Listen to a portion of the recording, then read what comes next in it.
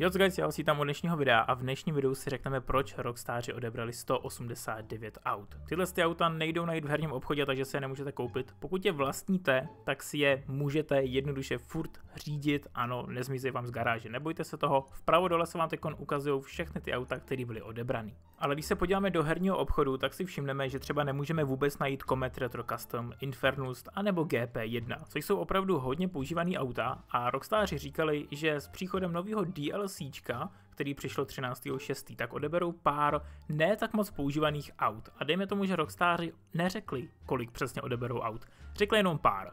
Pod slovem pár si představíme třeba 10, 20, ale oni odebrali 189, což je opravdu velikánský číslo a říkám si, že na tohle to hráči nebyli připravení a opravdu hodně si stěžujou. Takže pokud jste plánovali nějakou sbírku aut, už nikdy nemůžete mít všechny auta z GTAčka. Každopádně pojďme si říct, kam tyhle ty auta asi zmizely, anebo jak se dají získat. No, dejme tomu, že vlastně do GTA Online přišel jakýsi Vinewood Car Club. A tenhle ten Vinewood Club je vlastně jenom pro členy GTA+.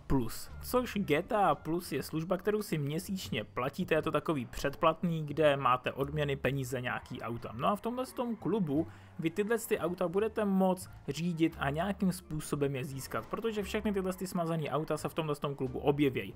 No a tohle předplatný si můžete předplatit pouze jenom na konzolích, takže to nejde na počítači. Což ze strany Rockstaru není úplně tak dobrý tah podle mě, protože odebrali 189 aut a valnou většinu z nich budete moc opět řídit pouze, když si zaplatíte nějaký předplatný, které je za prvý jenom na konzolích a vlastně za druhý stojí peníze. Takže vy za auta, který jste tady měli celou dobu, tak abyste je znova získali, tak si za ně musíte zaplatit a ještě musíte mít konzoli, to vůbec nedává smysl. Když se podíváme na mapu, tak tady vůbec žádný Vinewood, vlastně Car Club nenajdeme, mělo by to být někde v docích, nikde to není, protože jsme na počítači a tady vlastně ani není možnost získat GTA+, takový to předplatný pro GTAčko a těch aut je opravdu spousta. Tohle je velký krok zpátky a řekl bych jsem, že novým DLCčkem se spíš víc kontentu odebralo, než se vlastně přidalo.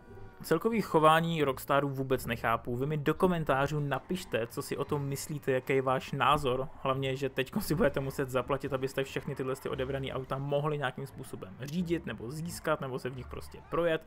No, za mě je to velikánský mínus a těch aut je tady opravdu spousta a dejme tomu, že já jsem spoustu z těch aut taky používal. Ano, spousta nebyla používaná, tak proč by tam měli být v tom obchodě, prostě zaplňovat to, jo, OK.